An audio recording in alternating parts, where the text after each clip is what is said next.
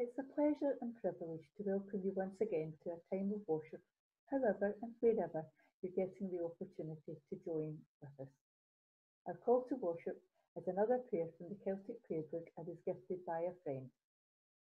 Christ is the world's Redeemer, the lover of the pure, the fount of heavenly wisdom, our trust and hope secure, the armour of his soldiers, the Lord of earth and sky, our health while we are living, our life when we die. Amen.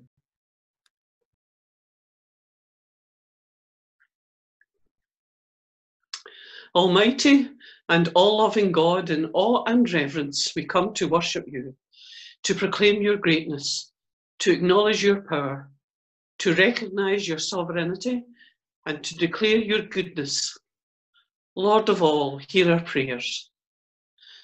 Compassionate and caring God, with grateful hearts, we come to praise you for your love that surrounds us, for all the blessings of our lives, for the wonder of your creation that we have had these time these last months to see anew, for the hope of our faith in Jesus. Lord of all, hear our prayers. Merciful and forgiving God, we come knowing we have not loved one another as we should, or given enough time to you failed at times to acknowledge your blessings to us. Lord, help us to do better for your kingdom's sake. Lord of all, we offer you this time of worship, thanksgiving, and petition to you. Touch us today with your Holy Spirit, that our lives may be filled with grace, so that our love for you may grow, faith deepened, and our service strengthened. Lord of all, hear our prayers now in the name of Jesus, who taught us all to say this prayer Our Father, who art in heaven, hallowed be your name. Thy kingdom come, thy will be done on earth as it is in heaven. Give us this day our daily bread, and forgive us our debts as we forgive our debtors. And lead us not into temptation, but deliver us from evil. For thine is the kingdom, the power, and the glory forever. Amen.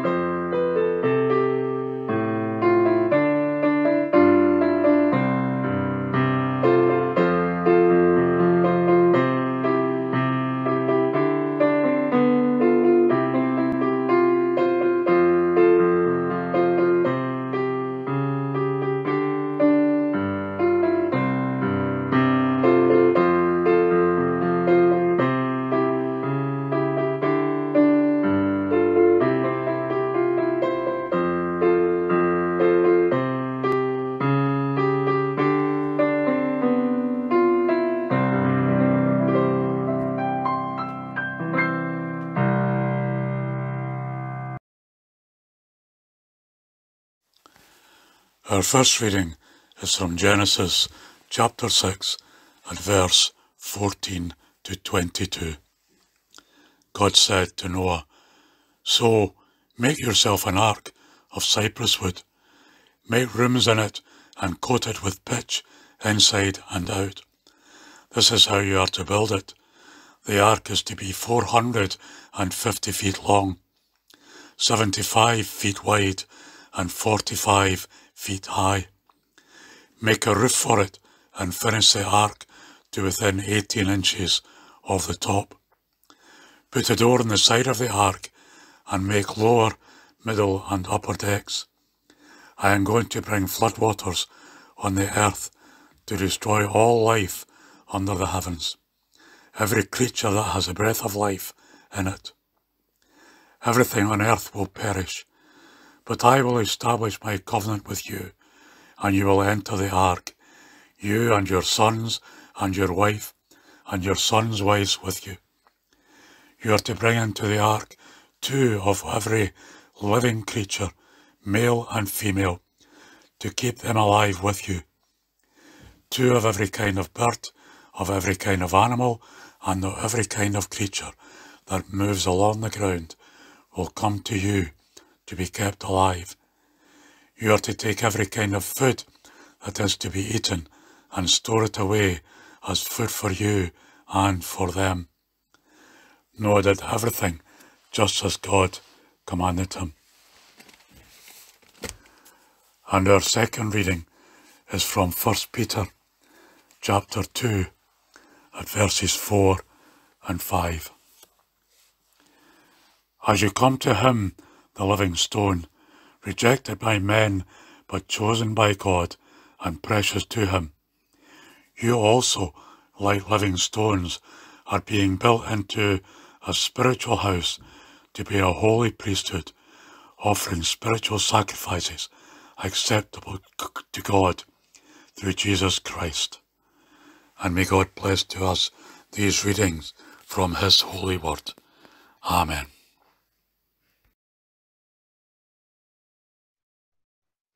Never be afraid to try something new. Remember, the Ark was built by amateurs, the Titanic was built by professionals. Well, I think we're all more than familiar with the ultimate fate of both vessels described here. However, what this highlights is not the builder's experience or acquired skills or knowledge, but who they put their ultimate faith and trust in. Noah, building the ark, put his trust and faith in God through a very turbulent and uncertain time. He knew and trusted God had his plan for him, without knowing exactly what the future held. Perhaps you might notice some similarities with today. The Ark and the Titanic were both boats vessels, physical structures, but these are of course not the only things you can build. The church itself was built in turbulent times and has remained unchanged through many more since its beginning. As we are taught and has been brought into sharp focus in recent times, the church is more than a physical building. It is the body of God's people who gather to praise and worship, spread the good news, and support each other throughout the world though that may be virtually to a great extent at the moment. Ephesians 2, verses 19 to 22. So then, you are no longer strangers and aliens, but you are fellow citizens with the saints and members of the household of God, built on the foundation of the apostles and prophets, Christ Jesus being the cornerstone, in whom the whole structure, being joined together, grows into a holy temple in the Lord. In him you also are being built together into a dwelling place for God by the Spirit. There may have been many steep learning curves and challenges involved, but over the last few months, we have seen many wonderful and creative examples of a true church without walls. New technology has been embraced, slightly older technology like the landline telephone rediscovered to make sure people stay connected and hearing the good news church members coming together to, for example, cook and deliver meals, collect prescriptions and shop for those who are unable, provide a cheery telephone call or socially distanced visit We have the wonderful promise that the church will never be overcome by darkness. Matthew 16, verse 18. And I tell you, you are Peter, and on this rock I will build my church, and the gates of hell shall not prevail against it. As we go forward, we will be challenged to work under God's guidance and in His strength to build a new kind of church, not knowing exactly what that will look like at the moment. However, we do have the wonderful assurance that the church, in whatever form it takes, will be with us and will prevail. As the church moves forward, we will each have our calling, though we may not be very certain what that will be at the moment.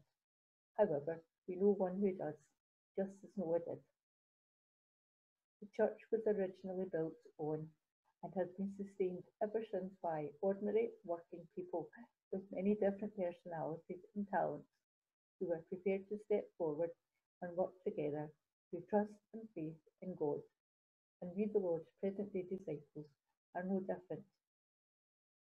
As we work for God's kingdom going forward, we are also called on to build our fellow brothers and sisters in Christ up in their appointed tasks. Hebrews 10, verses 24 to 25.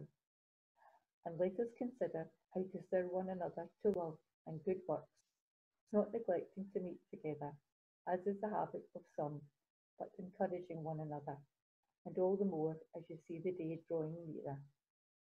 1 Thessalonians 5, verse 11. Therefore, encourage one another and build one another up, just as you are doing. As we look ahead, let us not be afraid to move prayerfully forward, seeking God's guidance, as Noah and so many other great faith examples have done throughout time. 1 Corinthians 3, verse 9. For we are God's fellow workers. You are God's field, God's building.